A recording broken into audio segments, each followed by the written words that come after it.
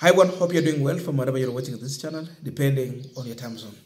Now, as of now, the labor union officials can serve in office for as many terms as possible, provided they have been elected, duly elected and re-elected.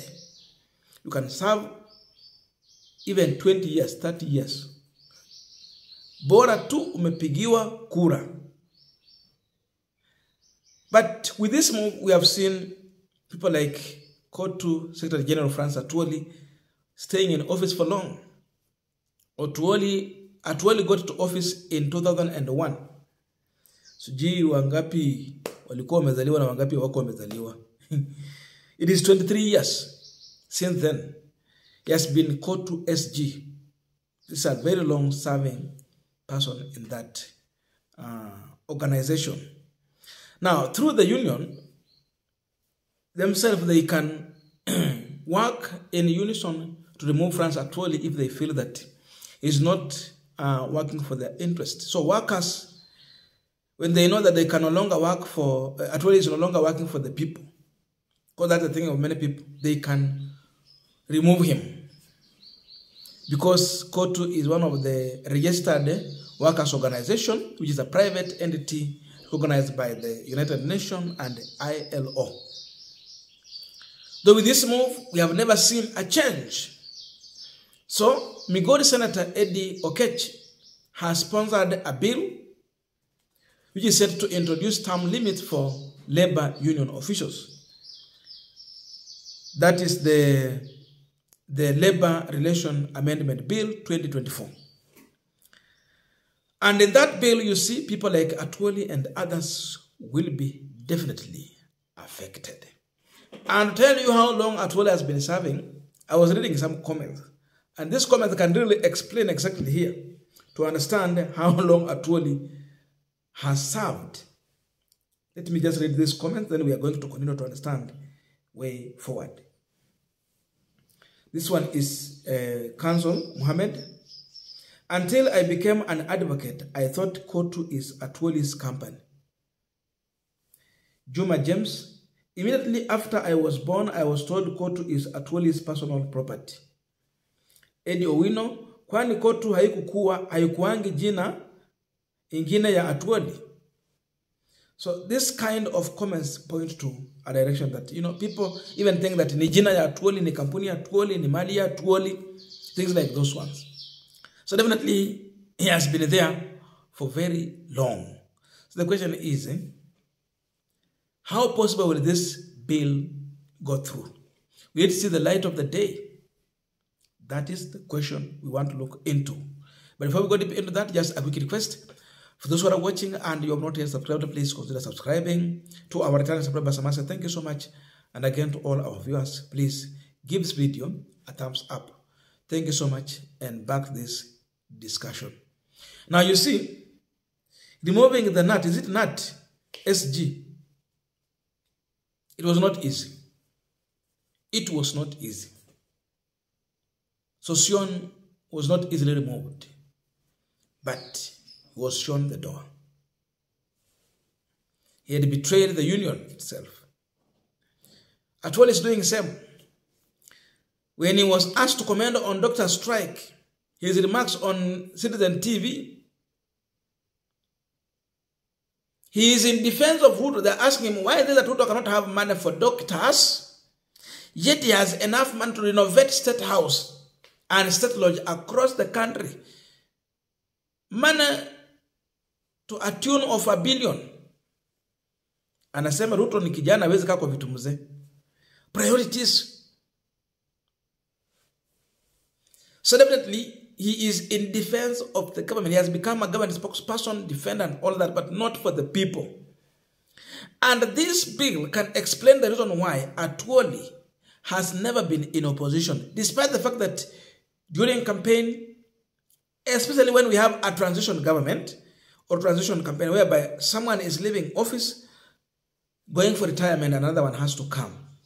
You would see Atwoli supporting the person may feel that is the right person, definitely by supporting Raila Odinga. 2013 and talk about 2022. at the elections. Raila has stood with the workers, he has talked for them. So Atwoli has no option but try to realign him with Raila Odinga. But immediately after every election, Atwoli will be on the government side. He will sneak to the government whether you like or not. Alikuwa na uhuru, saizi akapigia Raila campaign, vile mambo yalifanyika vile alienda akaruka ako na Ruto. Hatuwezi amini ni yule. Why? Because he always want the protection of the state. He knows that he cannot survive when he is out of the government. But when he supports the government, that's how he is going to be protected. So this explains the reason why Atwoli is in the government. So for the workers, there is something you have to learn going forward. Atwoli does not de- defend you. Ask yourself, why is he rushing in the government every time? That you have to be in the government for you to negotiate. He's going to look for protection in the government because he is so much determined to betray you as long as the government is going to protect his position as the SG. Otherwise, hangekuwa anakimbia kwa serikali, angekuwa anakaa na wananchi. So, COTU is losing a meaning, is losing the purpose, the agenda, and the Kenyan workers have big problem. There is no one to stand with them apart from Raila Odinga who has been there in opposition. So you wonder between the opposition leader and the COTU boss who should be defending workers and speaking for them. Things like those.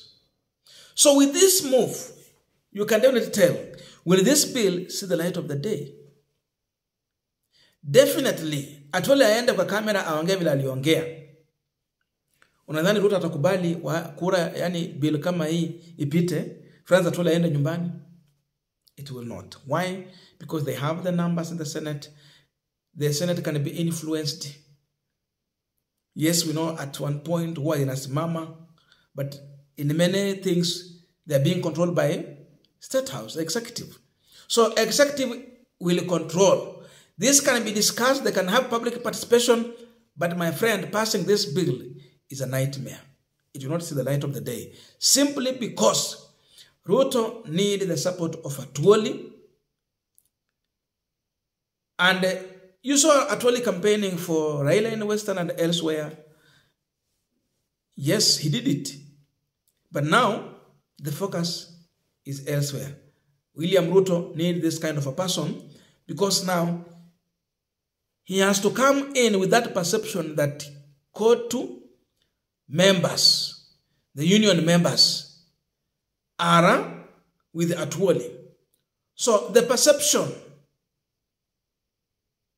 is something that Ruto is working on and that's what he want. So as long as you see Atuoli standing and saying Ruto ako sawa, anatoka tumpee kura, perception ninataka kwenda ni kwamba the entire union is in support of William Samuel Ruto. So already Atuoli has immuned himself by kneeling before William Ruto for protection. And today he is like Isaac Mwaura, the government spokesperson. He speaks for the government, but not for the workers. So this is a good bill. We should be supported, sponsored by uh, Senator Eddie Oketch, but it might not pass because of those obvious reasons.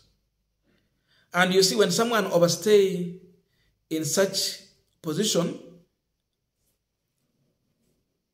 the union cannot grow. When you overstay, the vision is even lost. And that's exactly what is happening here. So it is also upon the workers to, uni, to, uni, to unite together in a unison so that they can be heard, make a decision to remove Atwoli. But as long as they cannot speak for themselves, as long as they cannot organize themselves, it is going to be hard to remove Atwoli. Haitakuwa rahisi. Otherwise, ingekuwa Atwoli ako kwa opposition sahizi na bill kama hii imekuwa sponsored, my friend, tomorrow he will be home. So he knows how to play his cards, where to stay, who to support. So definitely, There is a lot of personal interest in Atwoli as the SG of COTU. His personal interest supersede the interest of the workers. And that's the problem we are having. I don't know your views. But let us know in the comment section to continue with this discussion. Thank you so much and see you in our next video. Um,